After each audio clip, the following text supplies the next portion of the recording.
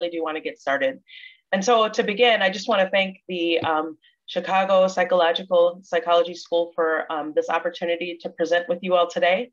I thank you all for joining this session, and I really hope that something, at least one or two things come out of this session that will really help you in your practice and your work with uh, Black women. So just a little bit about myself.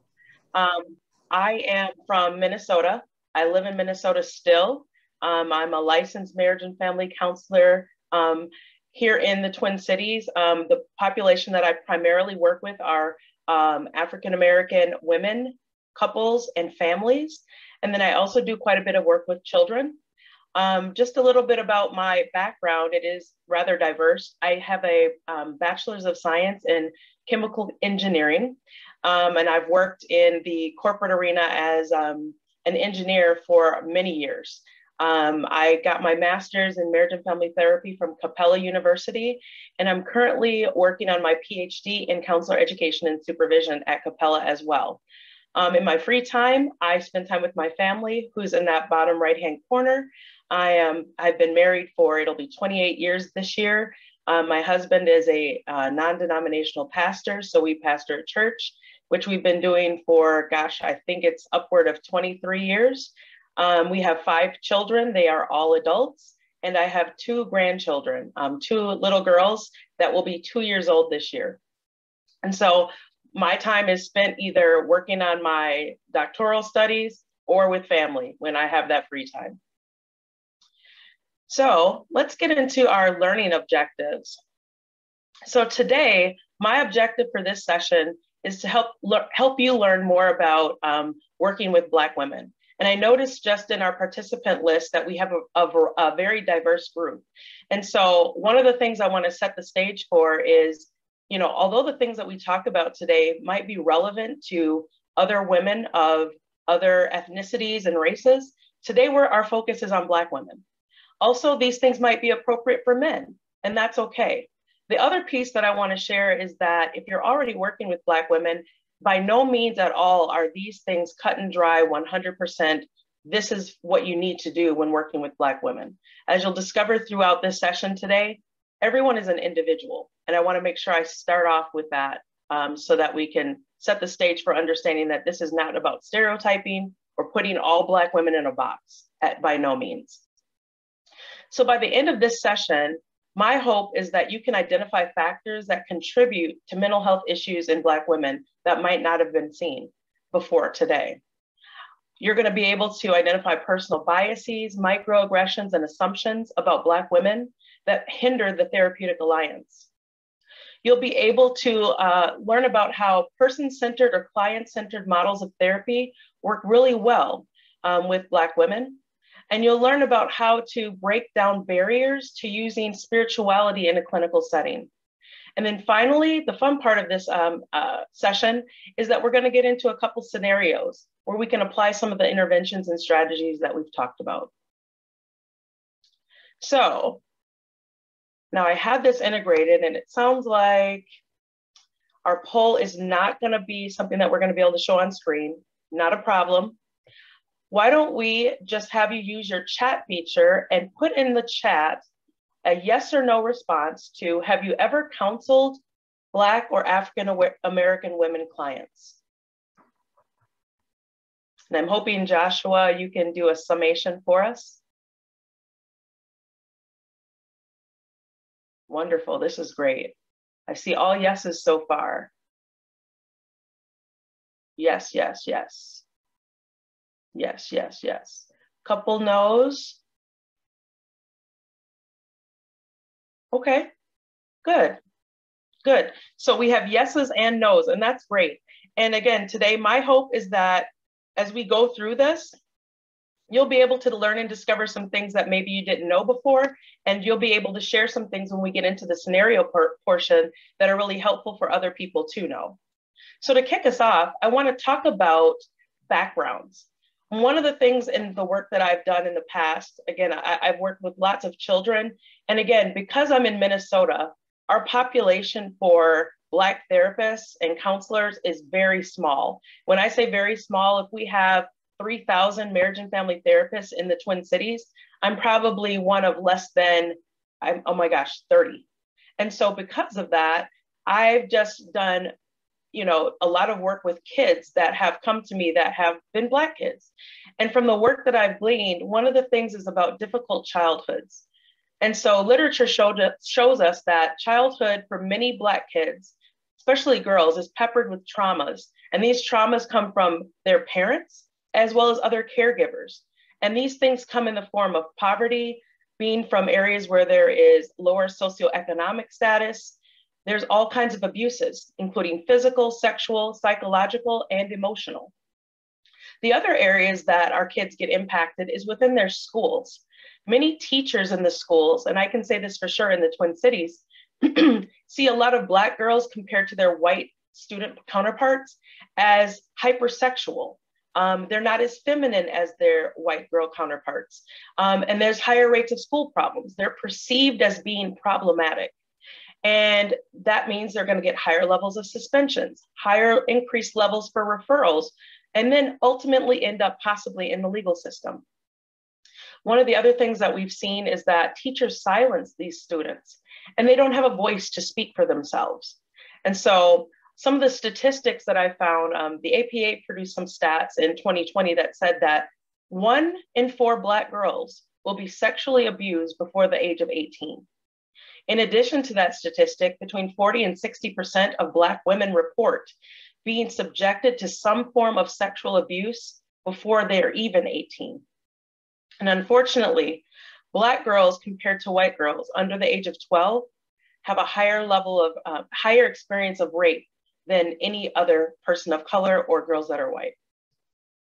So these things coupled with something that we've talked about a lot in our society lately, especially because of the things happening with uh, the murder of George Floyd, which took place last year, and that court case is going on now, is a rediscovery, because it's not new, of institutionalized systemic oppression, discrimination, and societal norms that hold these things in place and promote inequality. And these have become significant stressors for Black women.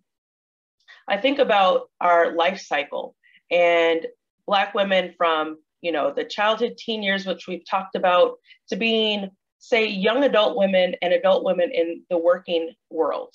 Um, I've also worked in a corporate setting, so I've experienced this firsthand, where you are overlooked for promotion, you are seen as, um, you know, meeting a quota because you're female and you're Black, you're seen as holding positions because of affirmative action and not because of something of your own skills and capabilities. And so when we think about these things, lots of people like to do the comparison. Well, Black women's experiences are just like white women's experiences. Sure, that could be true from a gendered perspective, but the thing that makes us very different is the fact that there's the racial aspect to it. And that racial aspect changes the tides and causes additional stressors. And so as we think about how these stressors now are compounded with what has happened in a, in a woman's childhood and teen years, we move into what we call untreated traumas and untreated things that emerge as mental health issues. So untreated traumas and experience coupled, oh, I see it. We now have polls. Thank you, Joshua. All right, we'll get to those in a second. Um, it's not time for them quite yet, but thank you so much for, for getting that. Excuse me. So untreated trauma um, emerges in adulthood um, as a variety of psychological and emotional problems. And for those of you that have already worked with many Black women, I'm sure you can attest to the fact that anxiety, depression, uh, mood disorders, feeling isolated, low self esteem, and then identity issues really emerge um, for many women. And unlike any other cultural group, navigating mental health is very difficult. And sometimes it's uncomfortable because of what you come up against when you try to navigate it. And that's where we come into play as counselors. You know, the things I've talked about up until this point, we really don't have the capability of controlling, but there are things that we do control. And these lead us to the microaggressions, biases, and assumptions that we hold about Black women. Now, unfortunately, as I think about all these things, microaggressions for me are probably the worst. Um, I found a few definitions for microaggressions, and when you look in the dictionary, the, the definition that they use is very apologetic. So I decided not to use that one and found something out of the literature. So this definition says that a microaggression is a subtle and everyday slight and insult. It can include insensitive comments based on any array of racial assumptions related to criminality, intelligence, cultural values, citizenship. It also minimizes or denies the racial experience of people of color. So that's a very broad way of looking at microaggressions, but it encompasses so many things. And if you just can imagine for a moment the, the level of um, hurt and the level of confusion that microaggressions may cause for people. I'll give you an example. Um, so as I shared with you in the beginning, I have five kids. And I, when my children were all under 10, you know, it's easier. And I don't know if people have five multiple kids like I did, but it's much easier to take them all to the doctor's office at the same time. See the same doctor, do all the stuff at one visit. It might take you a couple hours, but you knock it all at one out at one time.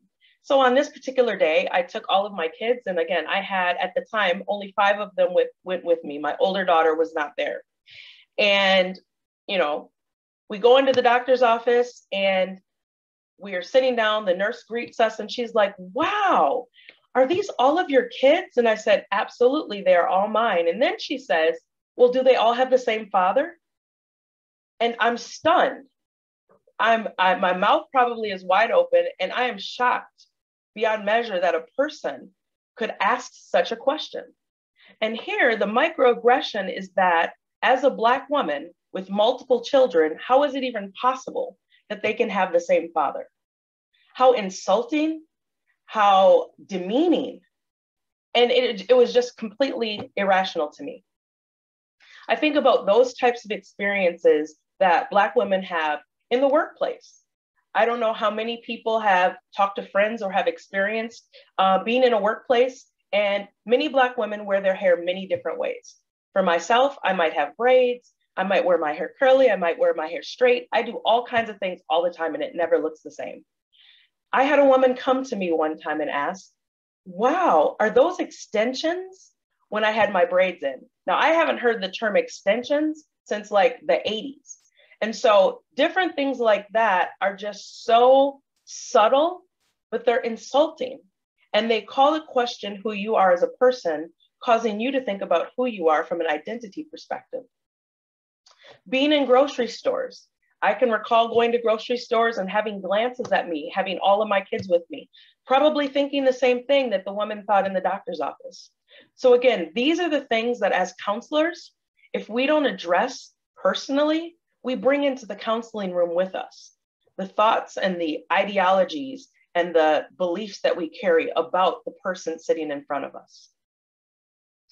Let's move over toward uh, biases. And I'm sorry, my screen wasn't changing for you guys. I apologize. Uh, I'm, I'm on track now.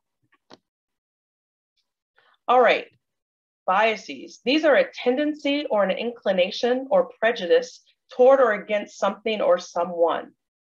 Now, when I think about a bias, bias can be in a positive way or a negative way. The most easy way to explain for me bias in a positive light is my desire and love for chocolate ice cream over any other flavor. In my mind, since I was a little kid, it's always been the best flavor. It doesn't matter what anyone else says. It doesn't matter how high quality the ingredients are. Chocolate is chocolate is chocolate, and that's my favorite. So I have a bias towards chocolate. If we apply that same kind of thinking to negative attitudes, feelings, or beliefs about people of certain uh, ethnic or racial groups, it becomes a negative. And so we find this a lot of times in our desire to pick friends. Oh, I choose to pick friends that look like me, or I choose to pick friends that like the same things I like. You know, again, there are negative and positive ways to have bias. The key behind it, though, is being aware of those biases and not allowing them to come into play and cause harm to a client we could be working with. All right, Next topic is assumptions. Again, This is something that is accepted as true or is certain to happen without proof. Now, the easiest way that I find talking about assumptions is when we have so many, many stereotypes about Black women. They're loud. Many of them are so angry. They're domineering. If we're talking about poverty and socioeconomic status, many times people call so many Black women poor and on welfare. They're combative, aggressive. All these negative connotations are assumptions about people that we really don't know anything about. If I look at my client caseload that I have right now, I say that I have about, I don't know, 15 to 20 individual Black women that I see on a you know monthly basis. And of these 15 to 20 women, I can say without a shadow of a doubt that they have a variety and an array of personalities, a variety and array of, uh, on the scale of introversion to extroversion. No one's ex- an extreme. It's it's a it's a continuum. And so as I think about how I present myself in session, when I get a new client that comes that's that's a black woman, I have to make sure that I don't put into play any of my own personal assumptions, biases, and, and beliefs about Black women because I work with them. So although this is something that's really critical to our, our non-Black uh, counselors and therapists, it's also important for us that work that are, are holding the same, um, the same ethnicity or racial uh, factor as our clients, because we can also make assumptions and have biases toward them. So the next thing I want to talk about is why Black women avoid counseling. So, you know, there's lots of literature about this, probably not enough, as well as things that we've gleaned from our own clients and people that we've worked with. But Black women avoid counseling primarily, primarily due to a lack of trust. There's not a whole lot of trust in our behavioral health system.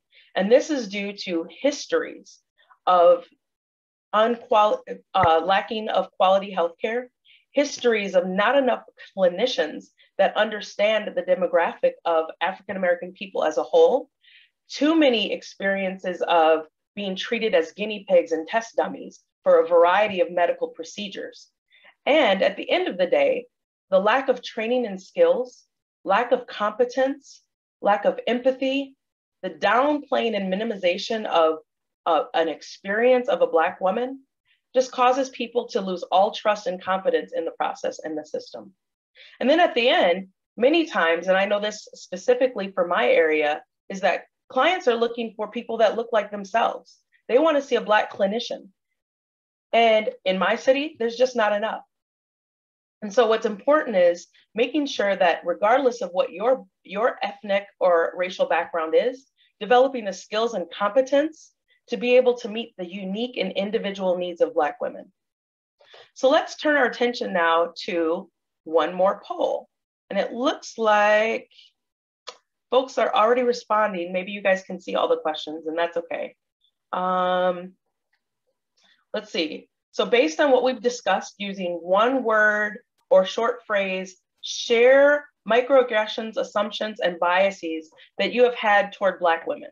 So this here would be something where in your chat box, if you could maybe put some of these things that you've maybe held um, from a per, uh, perspective of a bias, a microaggression, or an assumption.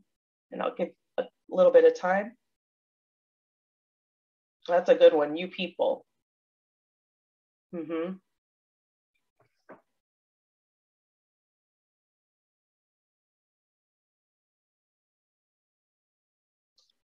Other thoughts?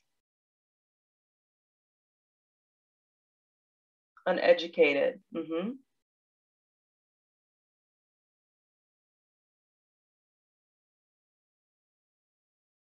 Oh, yes, my favorite. I have a black friend. That's your qualifier to make it all be okay.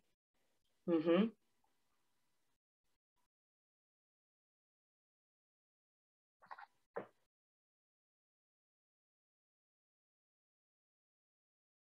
Mm, I don't teach like other professors. All lives matter, yes. Totally dismissing the fact that we're talking about Black Lives Matter. Mm-hmm.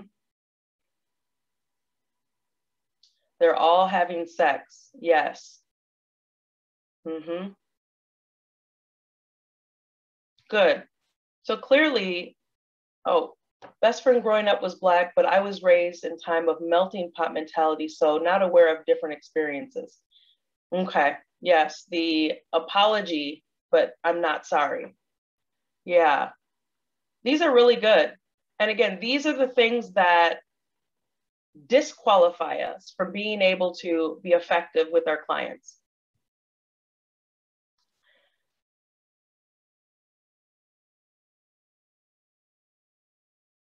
So one of the things that I found that's worked really well um, with with clients that I see is because and maybe I'll give a little bit of background. So coming out of um, my master's program and going into my pre pre licensure period, I was sold out on uh, family systems therapy. I was a Bowenian therapist all day long because I love genograms, which I still do. Um, but I really was um, focused on using intergenerational aspects of therapy and understanding the history and looking at all the generations and all these different things. And it works. But what I found that was much more compelling and, and aspects that were much uh, that were much needed in my work with my clients, especially my Black women clients, is the person-centered um, opportunities that are available. And then so many of them, if I were to say a percentage, I would say at least 95% of my clients come to me and say, you know what? I'm a believer in Jesus Christ, or I have spiritual um, beliefs that I want to make sure are incorporated into this therapeutic process. Can you help me do that? And so for me, I've been consistently working from a person centered spiritual approach with all of my clients. So, what does that mean? So, person centered counseling was developed by Carl Rogers in the 1940s. And so, it seems a little counterintuitive to say, wow, so we're going to use a theory developed by a white man that's really effective to use with Black women. And one of the things in my research that I found is that although this was developed using the dominant group of, of white people, Rogers' work also took a turn in the 70s and 80s where they explored this approach across all cultural backgrounds. And it was found to be very effective. Carl Rogers believed that people have the ability and capacity to grow and change by becoming what, what he termed self actualized. Now, this approach, which makes it very good to use with our Black women clients, it's non directive, meaning I, as a therapist, am not telling you what to do. You have full autonomy, you have decision making power. This, this process and this experience, you're guiding it and you're leading it. My work is to be an advisor, so to speak. It is very uh, empathetic, meaning that I am going to do my best from the beginning of our relationship to step into your shoes, to see things through your vantage point, And I'm going to put aside how I think it should be, what I think about your situation, and I'm going to see things through your lens. I'm going to help empower you.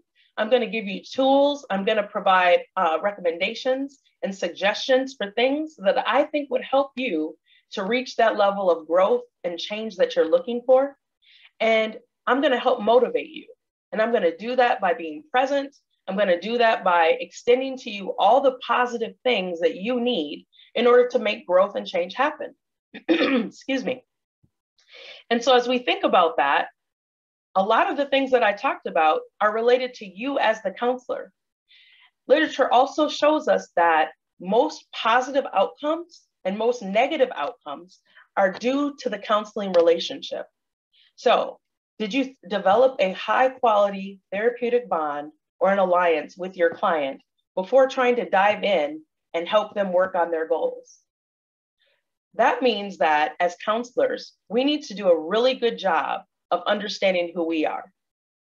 Before we can step into a room to work with a client, if we're not aware of, you know, what are our biases? What are our assumptions? Um, what lens do we see the world? What lens do we see this particular client? If we're not genuine with ourselves, we can't be genuine with our clients. Meaning, you know, are we really honest with ourselves about our likes and dislikes and those hidden things that we don't like to share with other people because they're embarrassing?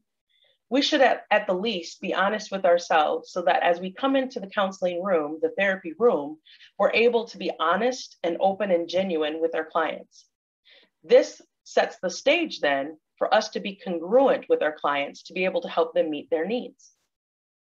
The other thing that I think about is, which I mentioned a little bit earlier, is because I work with so many Black women, one of the things that I always have to check is what past experiences have I had with my Black women clients that set the stage for my work with this new client. And unfortunately, sometimes I fail. I go into the session and it's like, oh, she's just like, you know, client X, which is so not true and such an unfair thing to do to the clients that we see. Excuse me. So the next step is thinking about how this work works in the session. Carl Rogers talks about unconditional positive regard. This is like the most paramount part of the uh, client-centered relationship. This is that unconditional acceptance, love, and affection for our client. We see them and their situation unconditionally.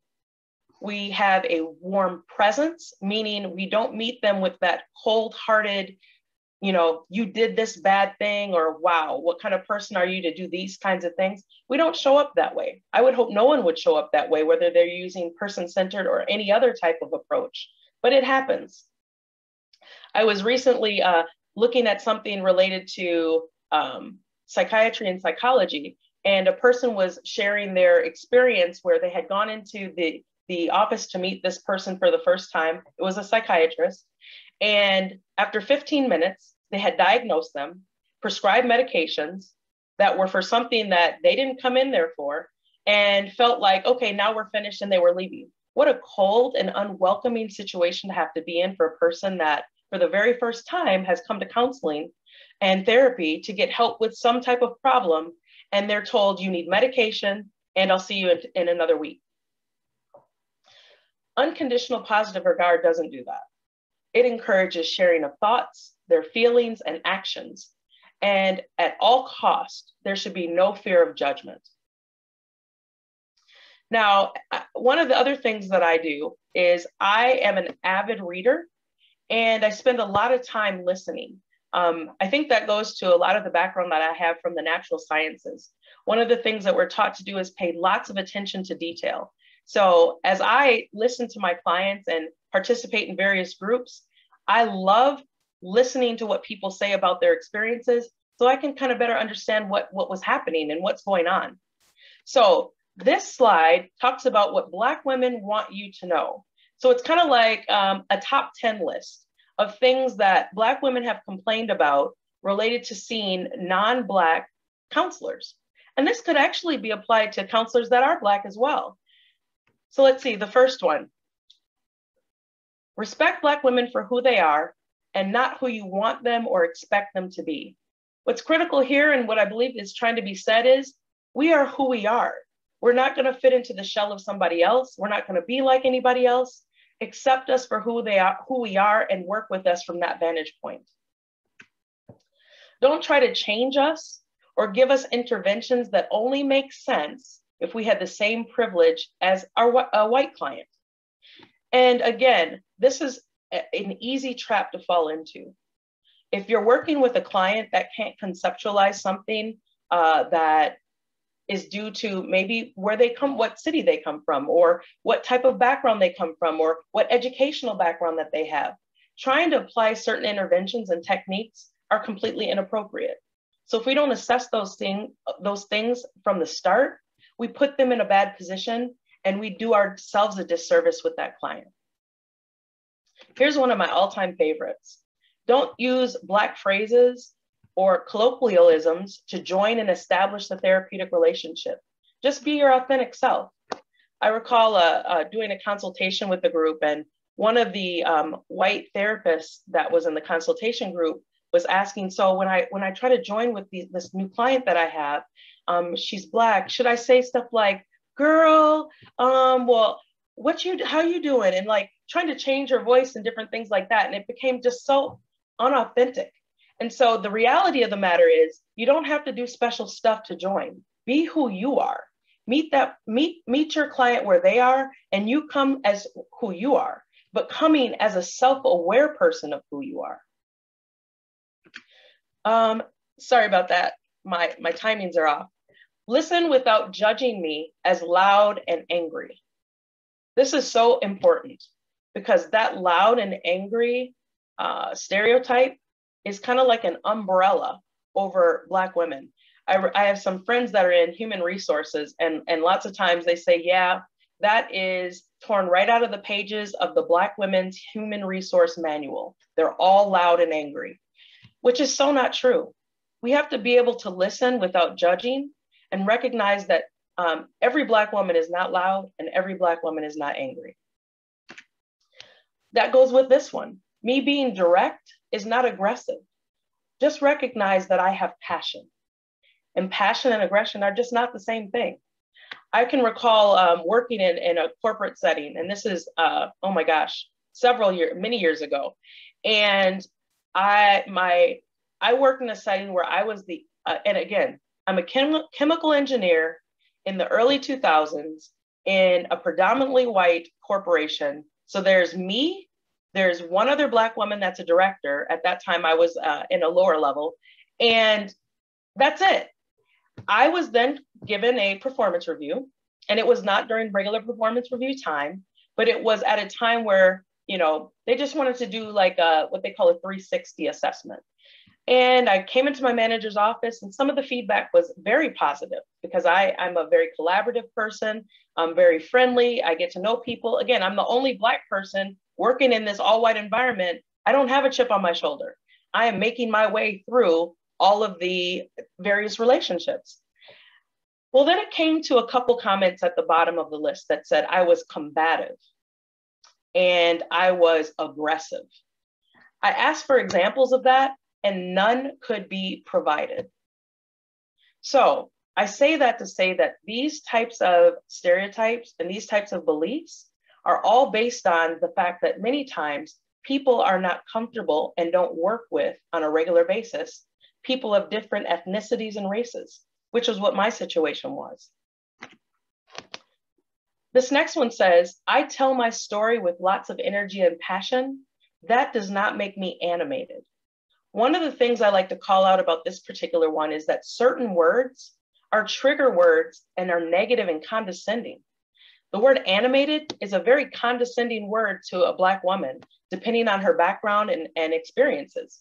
So recognizing what types of words to use with clients is just as important as how you say what you're saying. Now, this one that's been on screen is one of my favorites as well. We are not a monolith. We've heard that a lot over the past year, especially with all the heightened intensity of, um, you know, systemic and racial conversations. People need to learn about Black history, but recognize that Black history is Black history, but we are all still individuals and we're all still different. And we should be treated as such when we come into the therapy room. The next one says that racial trauma is real. Do not minimize it or dismiss it. This is so important um, it's very easy to dismiss someone's experience. The best way I can think about this is um, when video, you know, the cell phone has been a very powerful thing because it comes with camera and video capabilities. And lots of times when a video is created and shared, people say, well, what happened before that?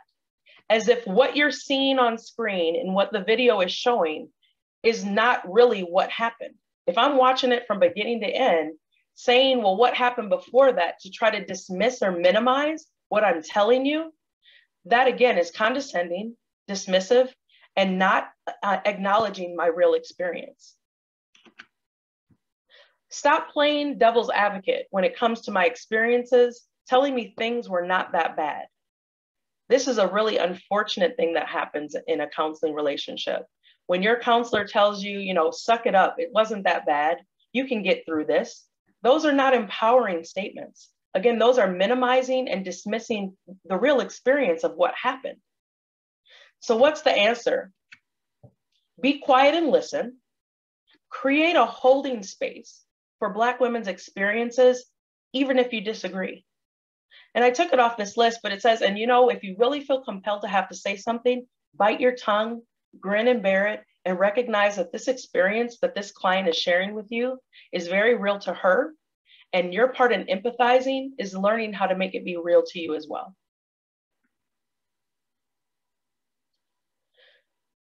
So, one of the things that happens with um, client centered therapy is helping your client um, get to the point where their experience on the inside, so their internal things that are happening, you know, we talked about some of the anxiety, some of the uh, depressive symptoms that happen, um, feelings of identity things that are, are happening, you know, questioning who you are.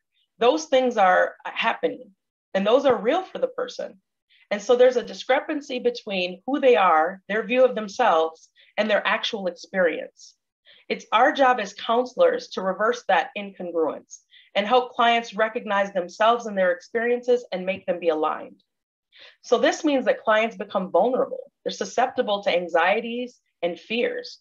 It's our job to help reduce those fears and anxiety and help them work through these things that are happening in their lives to bring some type of um, resolution to them. And for me, that's where a lot of the work that I do with my clients is about integrating spirituality. So, as I mentioned, you know, most of the clients that come to see me, they are spiritual people. That means that they might be a part of a particular religion, whether that be Christianity, Islam, um, whether they be spiritual, meaning that they believe in, and here's my definition, my slides aren't going as fast as I am. They may be spiritual, meaning they have a belief in a higher power and a connection to someone greater than themselves that guides and leads their decision making, their beliefs, and their values.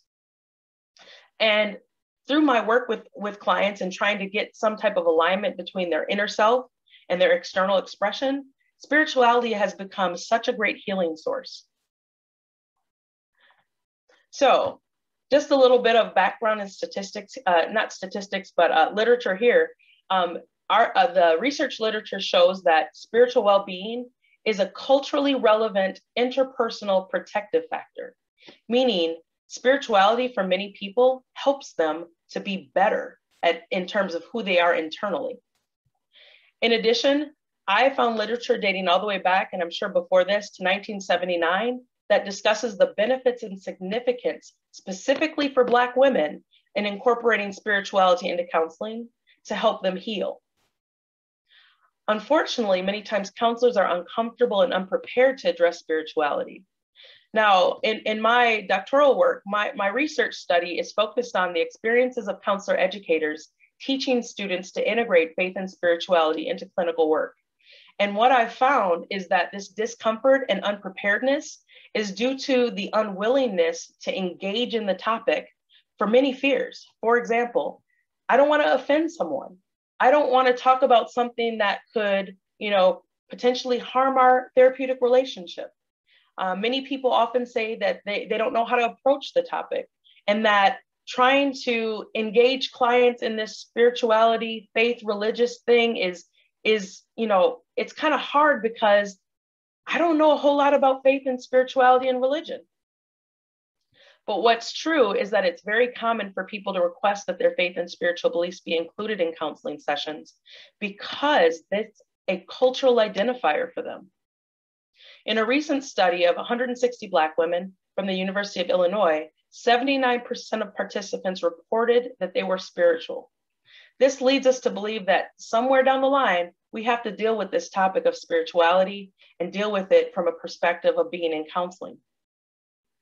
So on my next poll, um, hopefully you guys can see it. On a scale of one to five, with five being most comfortable, how comfortable are you integrating a client's faith and spirituality in counseling?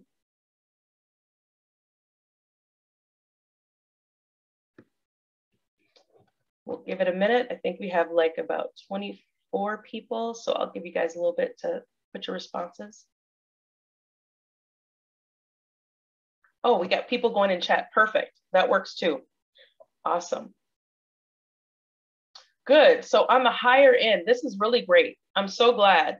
This gives me confidence that, you know, it's happening and people are, are doing things that are important for their clients. So as I think about the how to, because this is the big piece that lots of um, counselors uh, struggle with, is, you know, how do I do this effectively? Um, the first thing I, I, think about is developing the solid therapeutic alliance, which we've talked about. Before anything else can happen, if we don't have a good relationship, it's going to be really hard for me to ask you certain things about stuff that's really important for our counseling relationship. It's going to be really difficult for me to engage you in a conversation about your faith and spirituality if we haven't developed a solid bond. The next piece after developing that bond is conceptualizing faith and spirituality across all counseling activities. So, what I mean by that is, you know, at intake, the very first session, asking the simple question So, can you talk to me a little bit about any faith, spiritual, or religious beliefs or values that you hold? That's not offensive. If they have none, then they'll say, I don't have any. If they have them, they're more apt to now be comfortable and open sharing those with you because you've opened the door. Many times, clients, as well as the counselor, are uncomfortable with this topic because they don't know whether or not it's okay to talk about it in this setting. But this is where the active listening comes into play. As they talk about these things related to their faith and spirituality, listening to what they're saying, understanding. If you don't understand, asking those clarifying questions. This is where those clinical micro skills that we learned in our uh, initial courses in uh, counseling come into play. You know, are you echoing the client language? You know, repeating back to them what they've said. Are you validating? Are you doing clarification? Are you empathizing with accuracy? And are you tracking the relevant pieces of what they're saying? So, again, being empathetic, viewing the client with their lens, not our own. And then a big one, which I've highlighted here, is managing countertransference. You know, people come to come to session with me, and I can recall a woman coming in and I, I come from a non-denominational um, church. That's the church my husband and I pastor, and we, we pray in tongues. That's a that's a normal, natural part of what we do in our ministry. And a client came in and talked about how you know praying in tongues was like a part of a demonic something or other. I mean, she had this whole elaborate thing about it. And being able to manage through that conversation, to not be offended, one, and then to not feel like I need to now proselytize, become something else. We really have to learn the skill of bracketing. And that's a part of the managing of countertransference. We have to also throw away our preconceived notions about the problem. So when a client presents themselves to us, you know, this is the problem. We got to make sure that we allow the process to take its natural progression to make sure that we work through what the client wants to work through.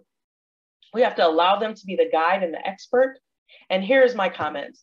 And if you disagree, bite your tongue and continue to listen to learn. Going a little fast. All right. So this is my next one. Um, faith and spirituality interventions. And again, I'm just providing a few highlights to things that I know work really well and that literature talks about in terms of working with clients to integrate faith and spirituality into, into clinical sessions. One of those is art. I use lots of art. Now, I'm not art therapy trained, so I don't proclaim that, but I use art, drawings, artistic depictions. I have a whiteboard board in everything that I do. If I'm doing online sessions, I activate whiteboard. I um, allow, I want clients to be able to see themselves through the lens of their own spiritual beliefs. And that often is empowering and motivating for them to be able to reach their goals. Another thing that I love using is music. Who doesn't love music of some sort? Um, in my background, I have a classical background. I, I, I studied uh, classical flute for, oh my gosh, 16 years and have a love for music. So I use all different types of music with clients, whether it be um, classical, whether it be rap music, R&B, Christian music, sacred or secular, doesn't matter. But what happens is allowing clients to select music that resonates with them, they can even write their own lyrics and, and write their own music. But these kinds of activities help them think about things related to their situations and experiences and their opportunities for growth and their goals in a whole different way. I also use faith affirmations and scriptural confessions. So one of the things I found that works really well, and, and I, again, this is not novel and, and I shamelessly stole it. I don't know, many of you might have watched Being Mary Jane back in the day when it was on TV, but she used those post-it notes that she stuck up all over the place. Well, I started implementing that with my clients. I have them write scriptures or positive affirmations on them, and I have them put them up all over their house or their homes or apartments, in their cars, at work, on mirrors, as reminders to them to say these things daily about yourself. Start changing the way you see yourself according to your faith and your beliefs. And people's mindset starts changing. To get something new out of something, you have to put new information in. And so that's what they're doing when they, they're doing these affirmations and scriptural confessions. Finally, bibliotherapy. Um, again, leveraging the Bible, sacred texts, and other things of that nature to help people find themselves in the words helps to promote strength, positivity, and community. So I think we only have time for one of my scenarios. Is that right, uh, Joshua?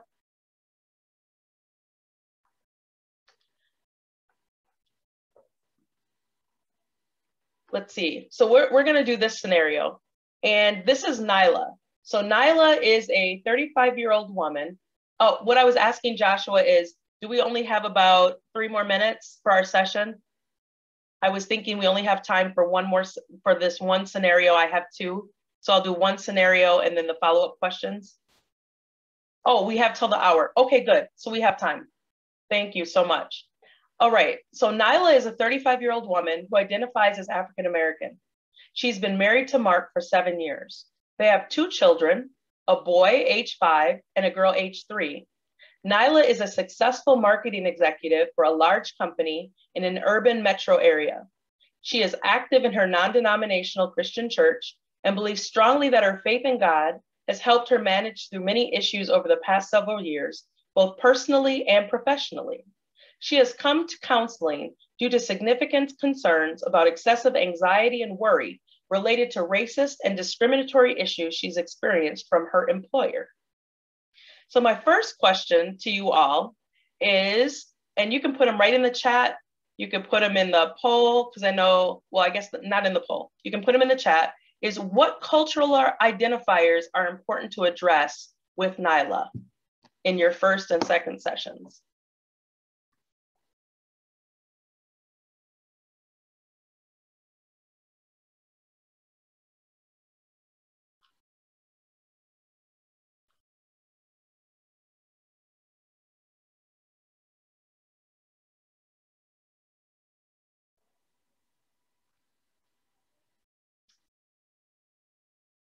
Not seeing anything in the chat. Oh, here we go. They're coming through now. Yes, African American, Christian, professional working mother. Absolutely. Others?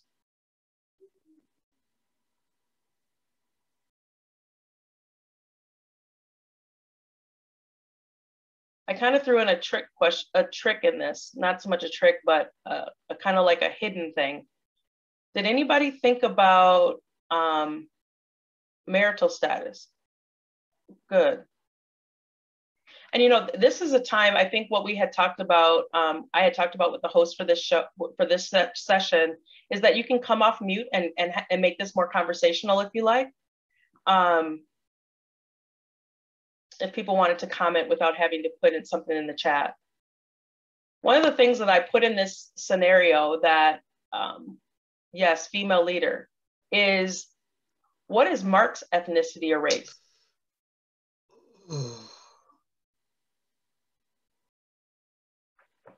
Someone commenting? I was Actually, I was just about to um, bring that up. That it seemed like you were intentional in not mentioning what his ethnic background was. Yes, I did that on purpose just to see if anybody was going to say anything about that. Um, because what I want to know now so Mark is white. Okay. What, is that, what does that make you all think about? in terms of this scenario and how would you, you know, approach this, ses- this session with Nyla? Hmm.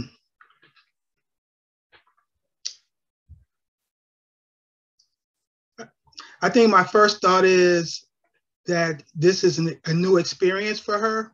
Mm-hmm. Um, the um, the discriminatory issues, um, and that she's probably had pretty positive experiences or relations with um, different people groups. So um, that's that's why she's a little um, unsure right now how to handle it and how to use her faith as far as how to be able to to to navigate through this issue as well. Mm-hmm. That's really good. Um, it looks like Jackie posted in here if her husband validates her experience at work and tries to understand.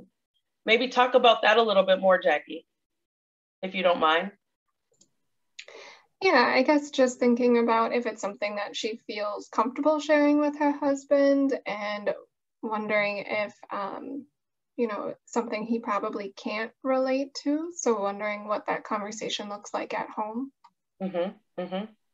That's really good. I know just in my practice, I had a situation very much like this. Um, and the couple really struggled because the husband, he could not identify, he did not validate, and he didn't know how. And you know, trying to work with them together, it was it was very difficult. Um, they ended up um, figuring it out at some point, but it was still very difficult. Other thoughts? My um the the one question that I had on here that you know, I think uh, was touched on a little bit is how would you integrate spirituality with Nyla? What kind of things would you do?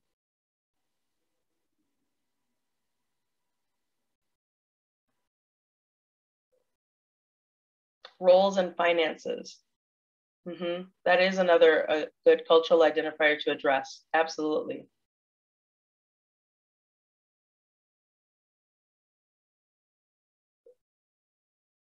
Okay, since we have time, I'm gonna move on to the next one.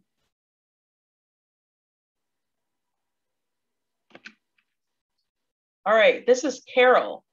Carol is 48, she's divorced, uh, Black woman. Carol was married for 15 years and divorced due to infidelity in the relationship. Carol has one adult son who's married with two children under age eight. She lives alone and sometimes feels bored. She's an executive assistant for a mid-sized publishing company. Carol does not attend church, but consider, considers herself very spiritual. She's coming to therapy due to feeling depressed. So for Carol, how do you think about her from uh, cultural identifiers and how would you integrate spirituality with her?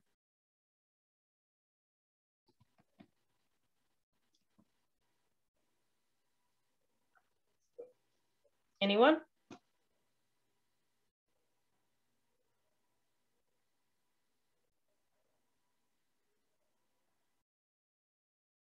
No one. I hear somebody talking. I think I would say I would want to find out from her how she incorporates. Um, is she? I would want to see to what extent does she incorporate her spirituality in her everyday life experience. Mm-hmm. Um, just thinking about, you know, and, and, see where she is and go from there. Because just because she doesn't attend church doesn't mean that she may not hold some very uh, val- some values that are very um, spiritual for whatever religion that she holds mm-hmm. um, that could really play a part into her decision making. Yes, completely agree. And then someone put in the in the chat, explore her spirituality, find out if it's earth based, etc to your point that that's really important. And and and from my perspective leveraging that to help her work through some of these um, emotions and feelings of depression. Anything else you all think is, is important or critical to point out about Carol?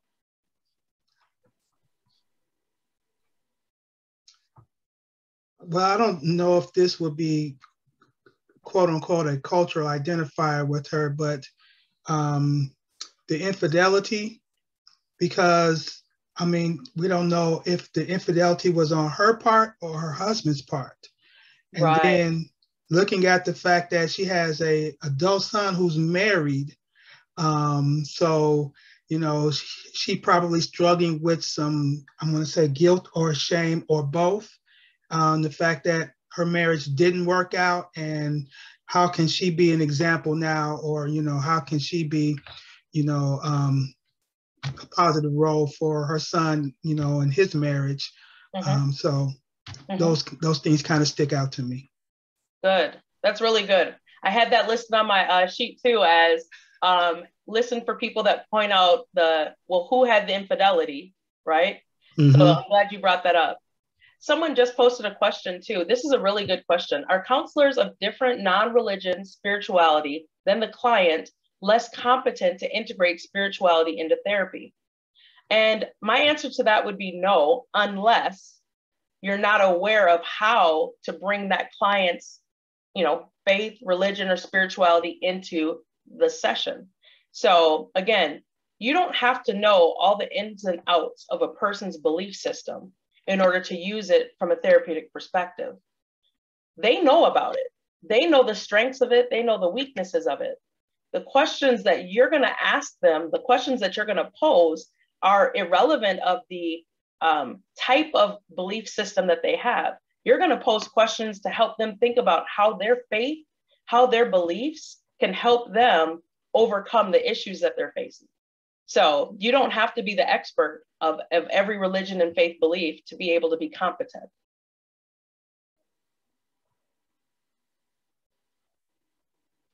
All right, it's looking like we're coming up to the end of time, so I better wrap up.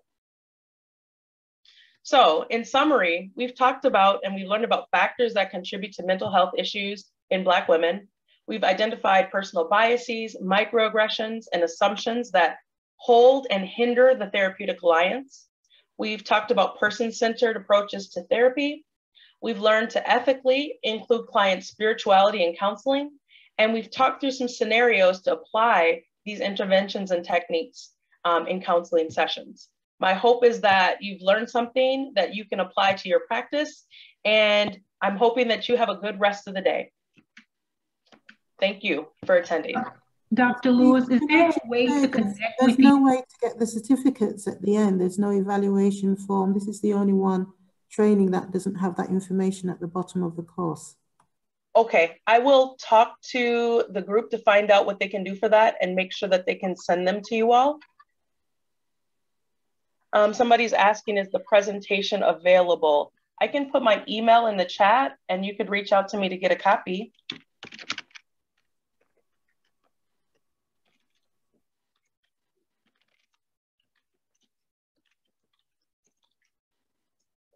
Thank you so much.